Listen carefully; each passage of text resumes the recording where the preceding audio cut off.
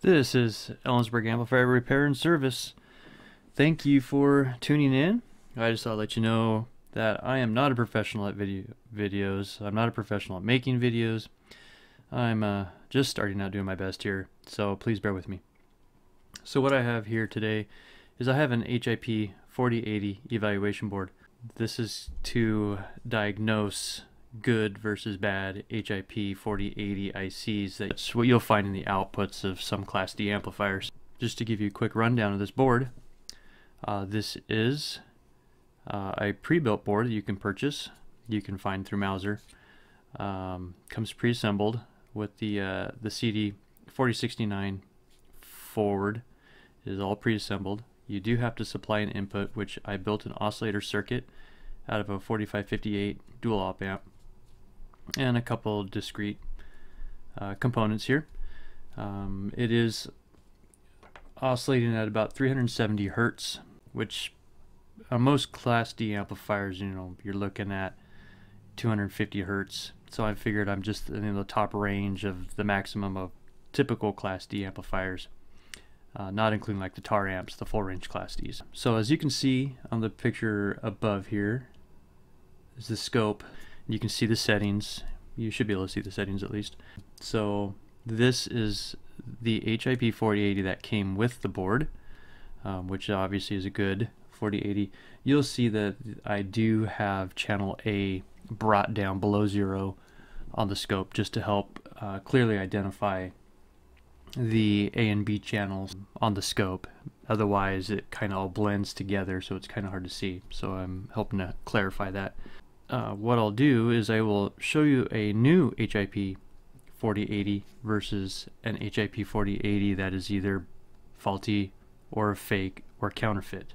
Let me uh, turn the supply off and we will uh, swap out this 4080 for another 4080 IC that I have uh, right here and we'll get that installed.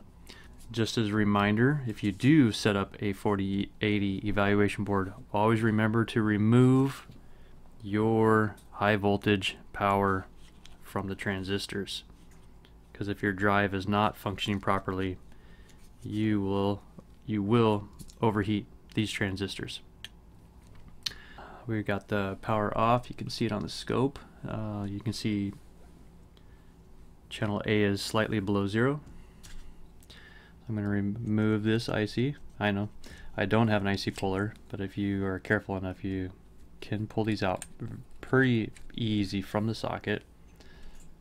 So I'm going to set that aside and then I will put in a 4080.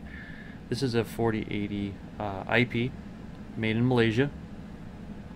Uh, pin 1 to pin 1 as you normally would for any IC, proper pinning.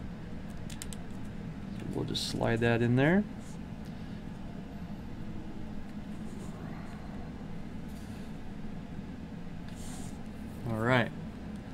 So now the 4080 is in, that is in question. So what I'm going to do is I'm going to remove my probes. Since I removed the high voltage from the transistors, um, you won't be able to see the output since I don't have anything going to the transistors. So we're going to fire up the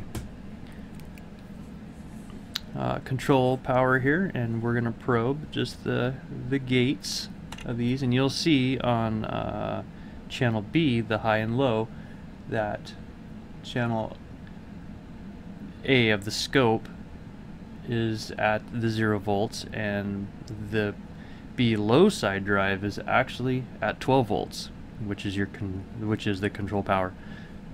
And then you're going to see that on channel A the high and low that we do have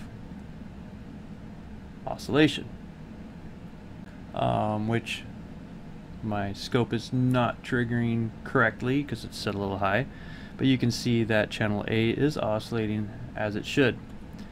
Channel B is not, which tells me that this IC is either fake, counterfeit, rebadged, or just sold as being good. So then uh, we'll turn my 12 volts back off we'll pull this back out of here. And I'm going to install the good 4080 in its place. I will hook up my power and I will reattach my probes and then we should be able to start it back up and there's the drive. So it does go to show that this particular platform here will test an HIP 4080 to know if the outputs are good or not. If you were to install this chip into an amplifier, you will burn out the channel B output transistors, um, which could send you on a wild goose chase or chasing a ghost, when in reality it's probably your 4080 that's bad or fake. So I hope this was educational and help you understand that you can test these ICs relatively easy with uh, just a couple components and a test board. I do thank you for watching and if you like to follow Amplifier Repair please like and subscribe and uh, keep your eye out for more content to come. Thank you.